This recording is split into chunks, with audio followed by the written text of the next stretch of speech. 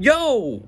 I'm here with Gracie, Hello. our rodent champion. I'm here with Appa today. Hey, Appa, nice to see you. Hey, Gracie. Hi. Does your hair keep changing colors, or is it just like... It's- it has a mind of its own. Oh, okay, fair enough. I hear you've got a fact about whiskers. Yes. Okay, so rat Wats? rat whiskers are more sensitive than human fingertips. Rats don't really have good eyesight, which means they use their whiskers and rub it against objects to get a good like sense of their surroundings basically. And he just pooped on me.